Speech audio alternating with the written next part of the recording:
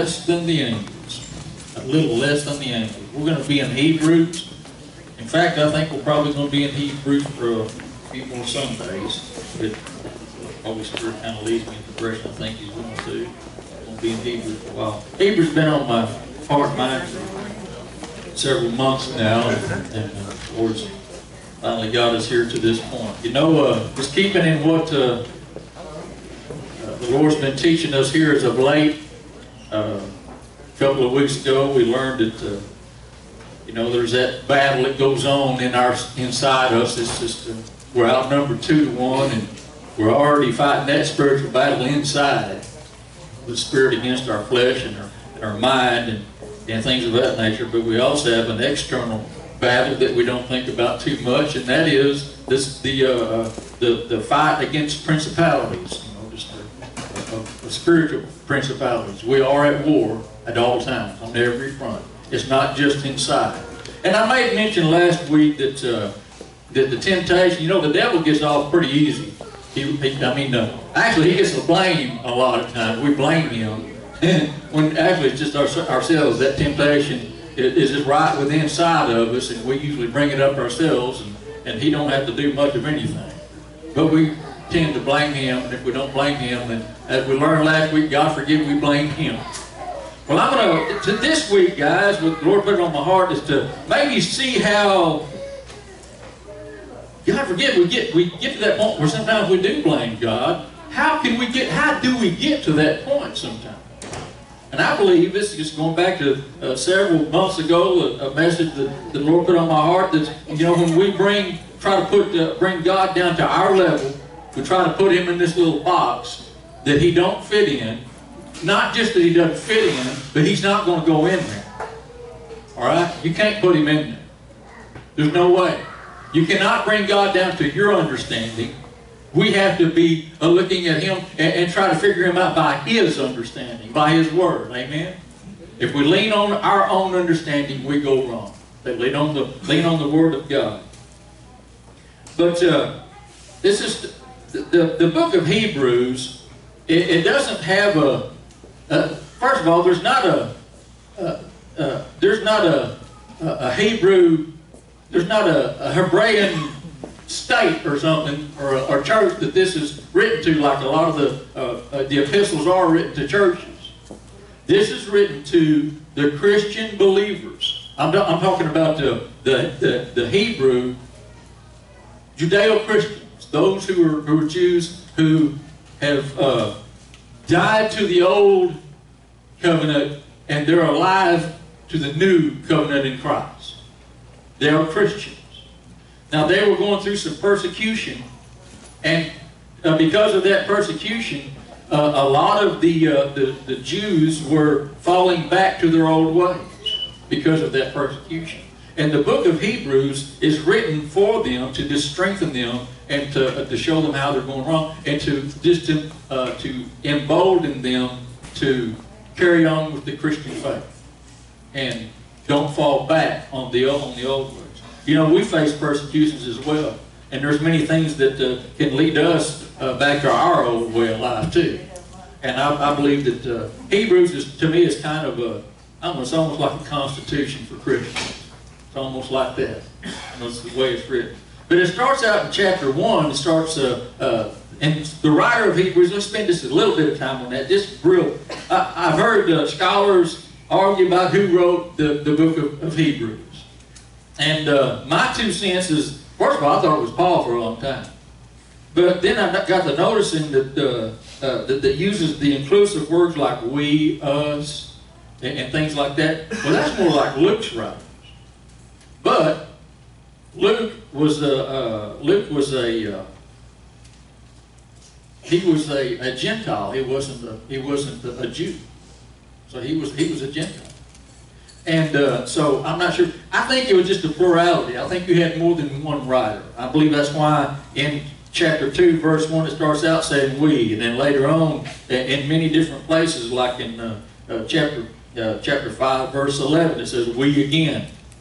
You know, this uses those inclusive. I believe it's just a group of maybe even just apostles, Luke, Paul, maybe some others, uh, and, and I think it's more reminiscent to, to Acts, and, and that was Luke writing. Is, you know, when he wasn't with uh, with Paul, then it would be he would talk about Paul in the like where Paul is. He's over there.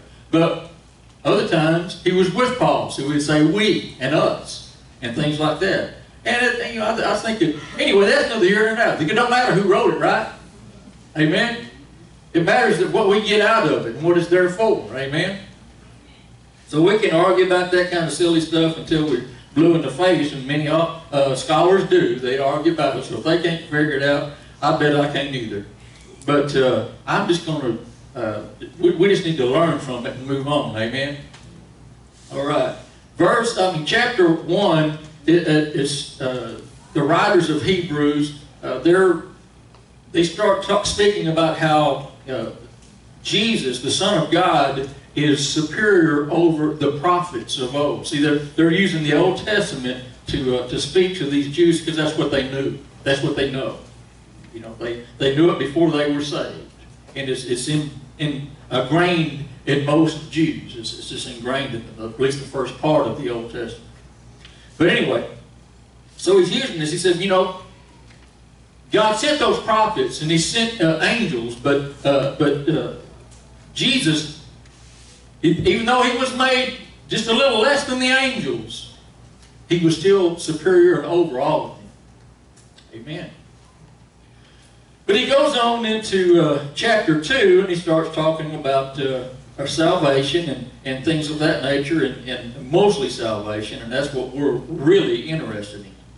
The verse, and I want to uh, this. I know it's not up here on the screen, but the the last verse of chapter one says, "Are not all angels ministering spirits sent to serve those who will inherit salvation?" I like the way they put that. These angels were sent, and we're going to come back on that just for a second because that's one of my rabbit trails I already know pre uh, predestined. I'm going to go down to this here in a second. But anyway, let's just start reading here in chapter uh, 2, verse 1 then. Keeping that in mind, and the reason we keep that in mind because there's a therefore there. There, and anytime there's a therefore, you got to figure out what it's there for, right? Amen. All right, verse 1. We must pay more careful attention, there's that inclusive word, we must uh, pay more careful attention, therefore, to what we have heard, so that we, we, do not drift away. For if the message spoken by angels was binding, and every violation and, and, uh, uh, and disobedience uh, received is, is uh, just punishment, how shall we escape if, the, if we ignore such a great salvation? This salvation, which was first announced by the, by the Lord, was confirmed uh, by, uh, by those who heard him. God also testified to it by signs, wonders, and various uh, miracles and gifts of the Holy Spirit, distributed according to, uh, to His will. I'm going to hold on, stop just a, a, second right there before we get too too far along. First of all, it said um, in verse four talks about those. Uh, uh, God also testified to it. To it, in other words, the, the coming of salvation into the world by His Son, by signs, miracles, and, and wonders. Guys, He did the same thing in the Book of Acts. When the it, it was signs and wonders when when the, the Holy Spirit made His debut on this earth to dwell in man's heart instead of with man, but in man. That happened in the book of Acts. It's a, it, we, we call that uh, uh, uh, Pentecost, the day of Pentecost. Pentecost means 50. 50 days after he ascended, or, or he died on that cross, rose from the dead from that tomb, 50 days later, he had ascended to heaven and sent back the Holy Spirit. Just like Moses went up the mountain 50 days after they were, God de delivered them from, from, uh, uh, uh the Egypt, uh, from the Egyptians, from Egypt, he went up to that mountain, and 50 days later he came down with the law. In the same way, Christ went to heaven to be on the right hand side of the Father, and he sent back the Holy Spirit with the new covenant. Not that, that God would dwell with man any longer, but he would dwell in, in man's heart. Amen? Those are the kind of rabbit trails I like. But uh, I like them all. But that, but that, that's a good. Anyway, so that's what that's what he's talking about right there when he says with signs and wonders. In every aspect, every part of God. Uh, uh, uh, starting his church, it, whether it was the, uh, with the Jews, with the day, on Pente- the day of Pentecost, the debut of the Holy Spirit, whether it was opening up uh, the, the, the, uh, the church in, up to the, to the, the Gentiles, each time it was by signs, wonders, miracles. The Apostle Paul did many miracles through God, or God did through him, I should say. God did many miracles through the Apostle Paul and other apostles as well.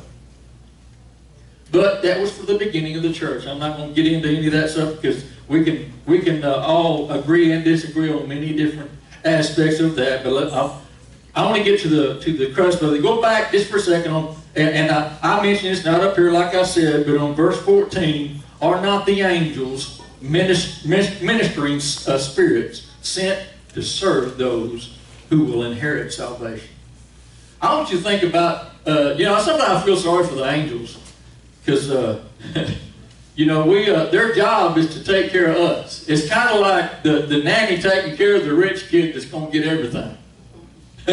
you know what I'm saying? Or, or, or, the or the servant taking care of the of the prince or the princess or the prince mainly, bringing them up. They have authority over them. They tell them what to do and things of that nature. But they're getting them ready to take the to become king, and they'll be ruler over them. So they got to bring them up to take their job. Ain't that something? Angels, they, they got it kind of bad like that, I think. But they understand what their their, problem, their, their deal is. But Jesus, it says, was made just a little less than the angels. Now, what does that mean? Well, don't feel too awful high and mighty of yourself because we are made just a little less than the angels because what he's talking about is we're going to learn here just in a little bit if I get to it is that uh, he's, he's speaking about God coming down to this earth and being born as, as human. Humans are just a little below the angels. But we, as, as in through Christ Jesus, because we have the same inheritance of Him, we have the inheritance of salvation. Angels don't have that. We're made in God's image. Angels are not made in God's image. He's, they have a, uh, they have a, uh, they have a, uh, uh, they have, their flesh and bone is what the Bible says. They're flesh and bone. It doesn't speak of a spirit for angels. We have a spirit. We have a spirit. Because it's the spirit that God's spirit is able to, uh, to grab hold of and, and interface and just mingle with. Amen? So you got to have the spirit in order for that to happen. And that's us. We're special. God loves us greatly. That, that's the reason He made us that way in His image. But the angels, they're just, uh, guys, we're, we're just made just a little under them. And that leads me to another point I want to make. And maybe this is how we can, in our thoughts and our thought processes, maybe sometimes we can get to a point in our lives where we blame God for stuff because we, we bring Him down. And uh, have you ever thought about it like this as far as creation? Because in, in the beginning, when God created everything, He starts out with the with the uh, plants and, and animals and things like the oceans and so uh, have, you ever thought about, well, you got your plants and your grass. Well, then the next thing you got is just uh, insects. They're a little bit over the grass. Amen, right? That's a. The grass is made there for them mostly to eat, stuff like that. And then after that, then you got your animals that crawls around and the birds and stuff like that. They're over the insect because they get to eat them. Amen, right? So it seems like it's the way God had it figured out, didn't he? You know, you you got grass out there. It's going to be used for this, and this is then the, then the insects, and then the uh, then you got the animals that eat grass and insects, and we got animals that eat animals, and things like that. And then we got the humans. Here comes the humans, and they're over all of that stuff. And we get thinking, well, you know, we're in charge of a whole bunch of stuff right here. And we're over all of that stuff. We're not, I mean, we're by far better than grass, amen? By far better. But God, then the next step is to think, well, how far under we are of God? How much, how far over us is He? Is that the next step? Because if we're thinking like that in our thought process, then it's easy for us, even if we're not even thinking about it really, or concentrating on it, maybe in the back of our mind we're thinking, well, you know, this is a hierarchy. Grass, insects, animals, humans, God. See, that don't, that's where we mess up. Right there is where we mess up, I believe. God should never even enter the, to that thought process. He has no beginning. He has no end. He is way more smarter than we are. And guys, here's, here's the deal. God is at a point of existence that none of His creation will ever reach. Ever. You see what I'm saying? So, think of it like that. Always think of it like that. Don't think of yourself. Let me tell you how this gets all jacked up. Uh, uh, y'all remember Joseph Smith? Y'all know what I'm talking about? Brian shook his head. A lot of you, I think some, that's the Mormon church, how it formed. The, the church of uh, Jesus Christ and the Latter day Saints. That's how it was formed. It's because that guy, well, you know what? He's thinking, well, we're just right here, we're just people, but sooner or later we're going to graduate into being a God, and God's going to put us in charge of another planet over here. You see what I'm saying? That messed up theology will get you messed up. Really. It'll get you believing something and inventing something that don't exist.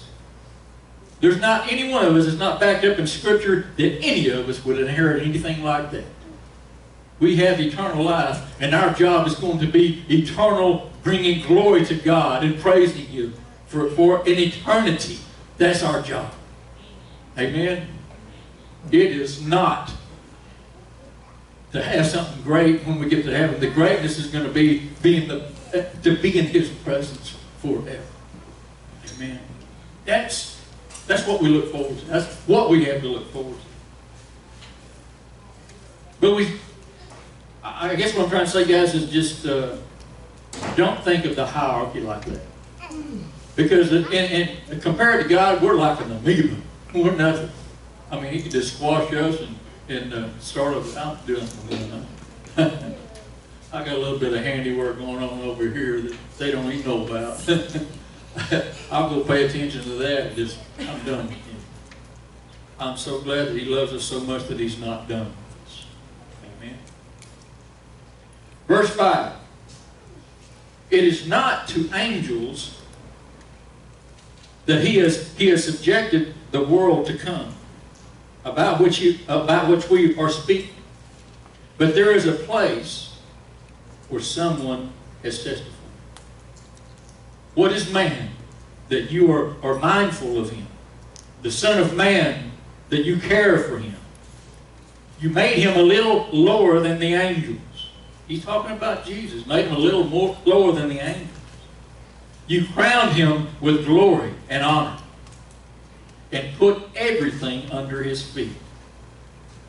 Uh, something that, uh, and I know, like I said, it's not on the bit, just before verse 14 of chapter 1, it says, uh, uh sit, uh, uh, To which of the angels did God ever say, Sit at my right hand until I'll make your enemies a footstool for your feet? That's what he's referring to, guys, is when he says that, that, that I'll make his, uh, uh, put, put everything under his feet. See, everything is, is under Christ's control. Everything. You, everything, all of us. But there's something different about Christ the man. Something different than any of the other creation other than us is, is uh, uh about Christ, is that he was human. He was He was made just a little less than the angels, just like us. And there's good reason for that. Uh, let's, let's continue reading uh, in, in verse 8. In putting everything under him, God left nothing that is not subject to him. Yet at present, we do not see everything subject to him. But we see Jesus, who was made a little lower than the angels, there you go again, now crowned with glory and honor because he suffered death. We talked about this suffering a, a couple of uh, uh, couple of Sundays ago, talking about us suffering. We're just not willing to suffer. It don't seem like we want the we want our cake and, and eat it too, but we don't want to go through the process of suffering through things to have victory on the other side. We want God to do it all for us. Will you die for our sins? You say we've got the victory through you, well, just take care of it. I don't, I don't have to have to do anything. I don't want to have to, to exert myself. See, we don't want to suffer, but we've got to suffer. Amen? It's not easy. If it was that easy, God just leave us alone it's right at the end to say, all right, save Jesus and, and come to heaven. Amen? No, we're supposed to suffer. We're supposed to go through things. We don't when we cry to God anyway.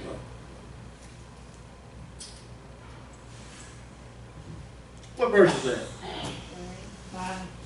What's the next nine? Nine. I, could- I didn't see a verse of her, and I couldn't figure it out, man. but we see Jesus, who was made a little lower than the angels, uh, now crowned with glory and honor, because he suffered death, so that by, uh, by the grace of God he might taste death for everyone. See, it's not that, that, that, he, that he, he died and came back to life, but he did that so that he could do it for all of us. Amen? It's not that he did it over and over and over. It's because of his strength and because of, of him being, a, as we're going to see in, little, in just a moment, is that he is a, the, our great high priest. He paid the price, the final price, and through his, through him uh, having victory over death, we have victory over. And by the way, everything that he has victory over, we have victory over. Like I said, we've got to suffer through. Amen? All right.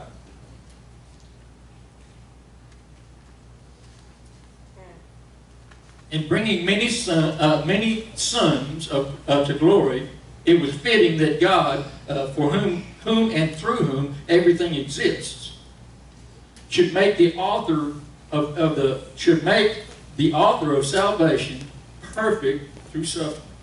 So there you go again. After suffering. Both the one who, who makes men uh, men holy and those who are made holy are the same family.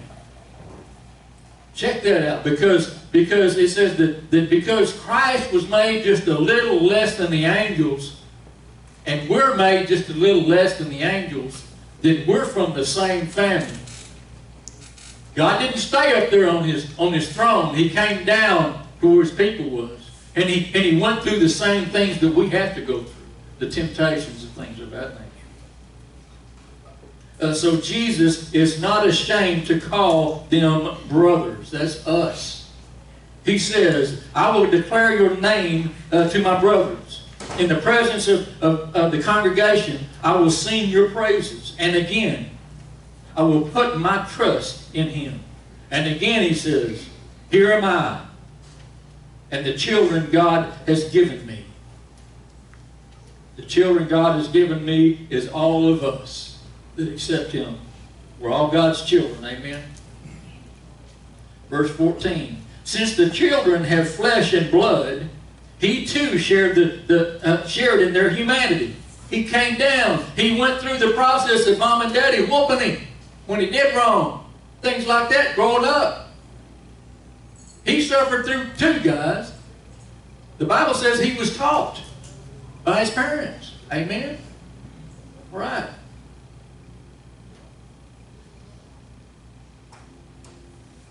Since the children have flesh, flesh and blood, he too shared in their humanity. So that, th- so that by his death, he, he might destroy him who holds the power of death, that is, the devil. That's interesting to me. I didn't realize that. I never really stopped, uh, stopped to think about it. But but devil does He has the. It says it right there. He has the the uh, the power over death.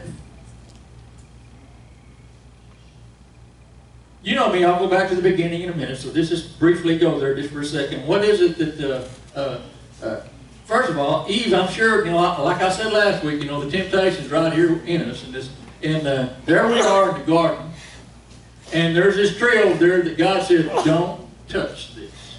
Leave it alone. You can have everything in this place, but don't mess with that, because you'll die. It'll kill you.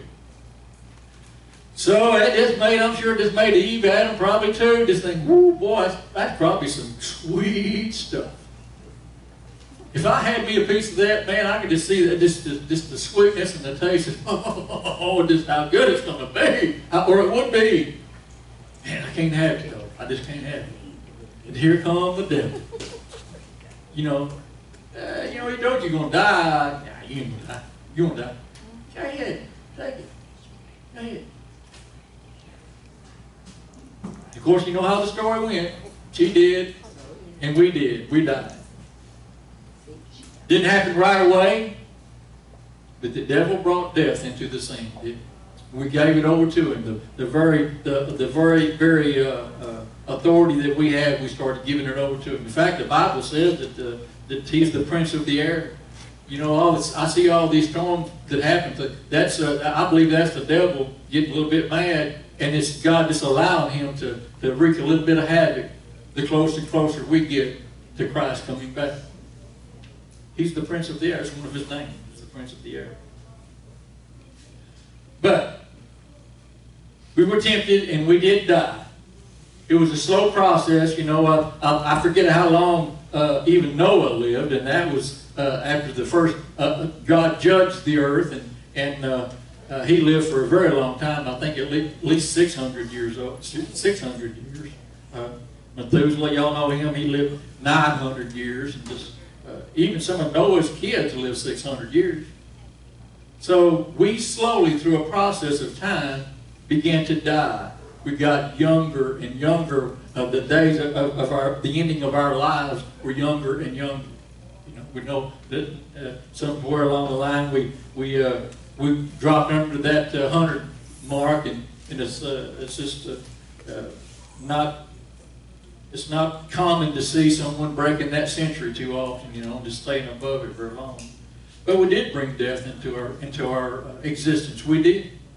So the devil, just like it says, he has the uh, he has control over them. Verse sixteen. For surely it is it is not angels he helps, but Abraham's descendants. That's us again.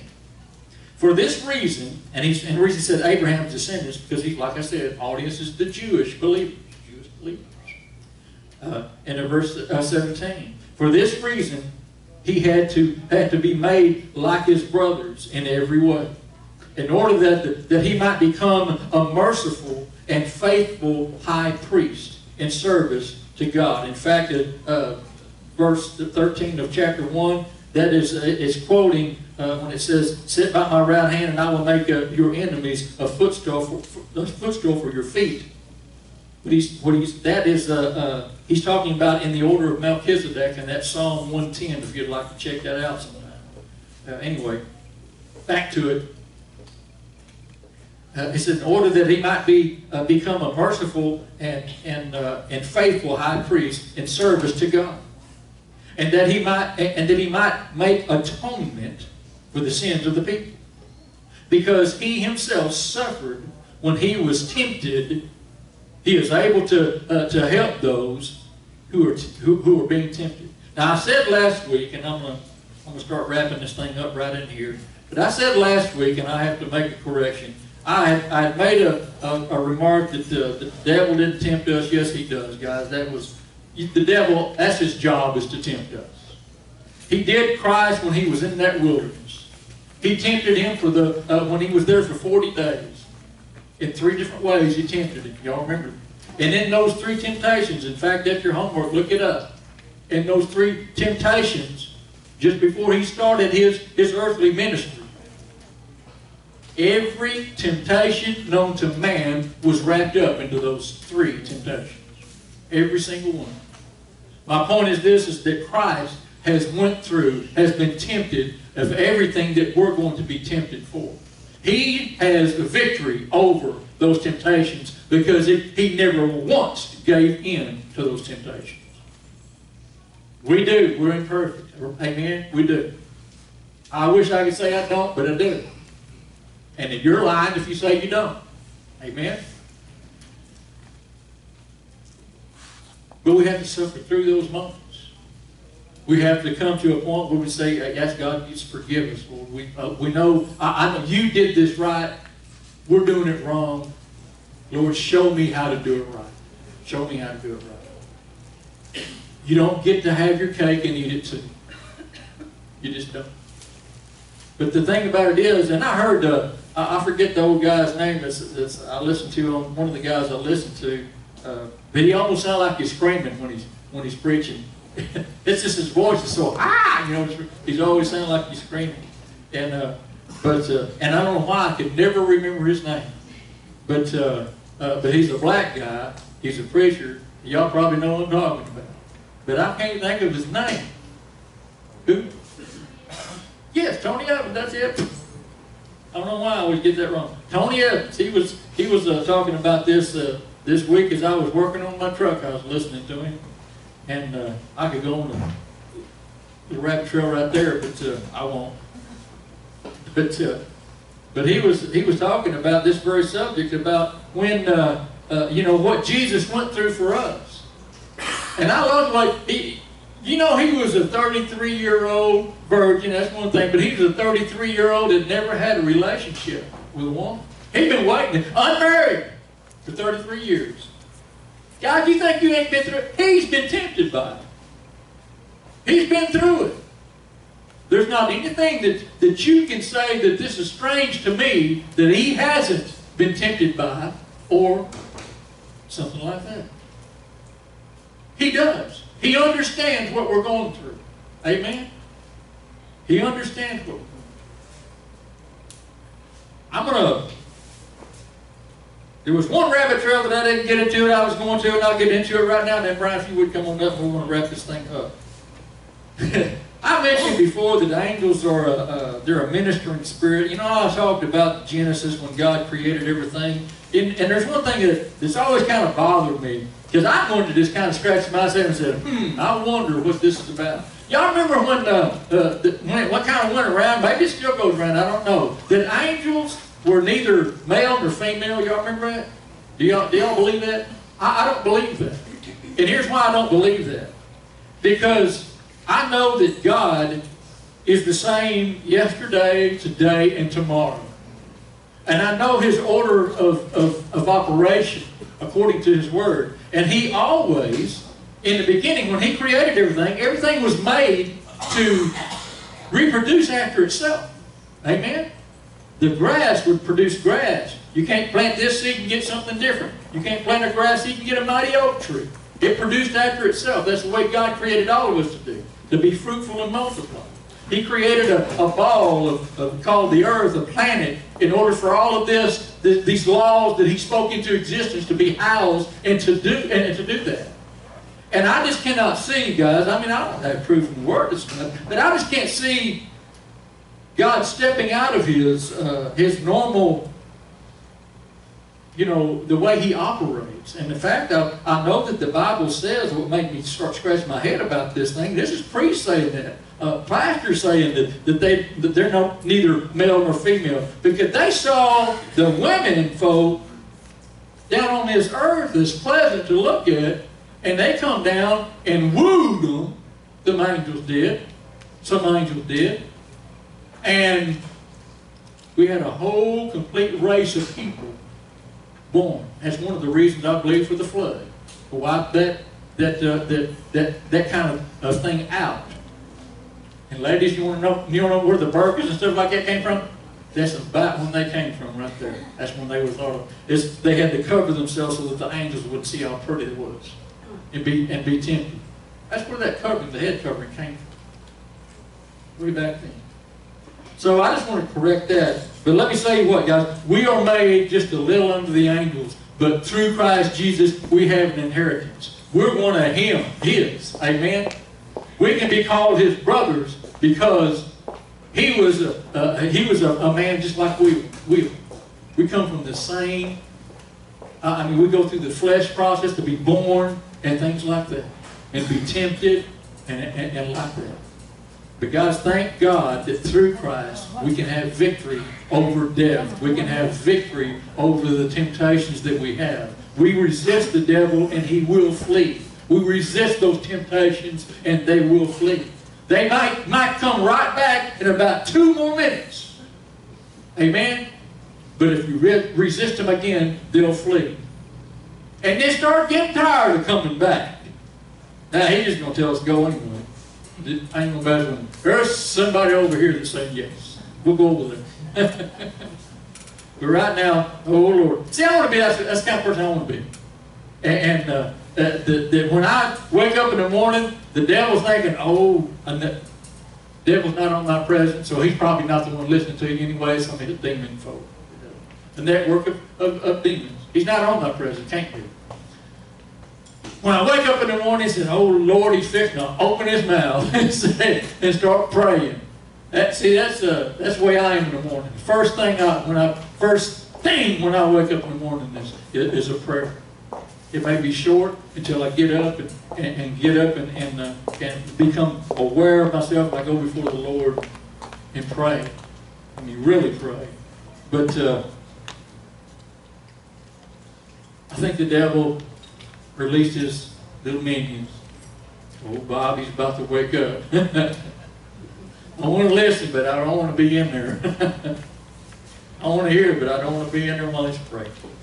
Guys, I'll tell you what, uh, uh, what this speaks of, and it, and it started out in chapter 2 talking about that, that, uh, uh, that, uh, that salvation. You know, that great salvation, if we go through, there's a punishment that if we go through and ignore that great salvation. Because Christ came to die for all of our sins, for the entire world. And it is a shame for us to go through life, maybe even knowing who He is, because every demon in hell knows who Christ Jesus is. Everyone. So, my point is what I'm trying to say there is that uh, do you, does He know you? Does He know you? Because it's not that we know who Christ is. Like I said, every every evil spirit knows who Christ is. Unfortunately, they probably know him better than a lot of new babe Christians do. It's not that you know who he is. It's that he knows who you are. And that you know where he is. And that's in your heart. Amen.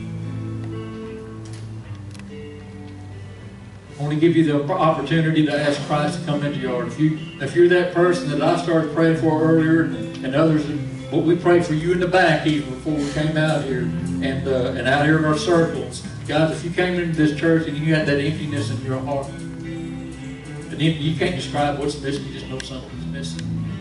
The only thing that's gonna fit there is God's Holy Spirit, and you receive that by asking Christ to into your heart. Through his sacrifice, you receive salvation and forgiveness of your sin. Every head bowed, every eye closed. If you'd like to ask Christ to come into your heart, just say a simple prayer like this and mean it from your heart, guys. Just admit to him, Lord, I'm a sinner. And right now, Lord, I turn from that sin.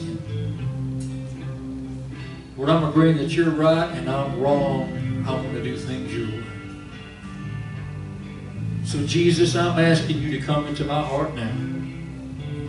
I receive you by faith into my spirit. I believe you died on that cross for my sins. You rose back to life. And you're living in me now. Recognize you as my God, my Lord, and my friend. And from this moment forward, I'm serving you. In Jesus' precious, precious name. Amen. You said that prayer for the first time, and like I say every Sunday, more than that, that you felt the presence of God begin to, uh, to, to feel that emptiness you came in here with. Would you please come and see me right after services? That's the most important decision you can make in your life. And I want to talk to you tonight. Amen. Let's go before the Lord one last time. Father God, we love you so, so very much. Father God, show us how to be doers of your word, not hearers only. We know that we're in the last days. We've been in the last days for 2,000 years, but Lord, we're closer now than we ever have been. We know that. You could come right now, this very moment, before we even finish this prayer. So, Lord, show us how to be the lights that we uh, need to be, the, your ambassadors for a lost and dying world. Father, show us how to mingle. Give us the words. Give us the opportunity. Jesus' precious, precious name. Amen. All right, guys, we love you. We'll see you next week.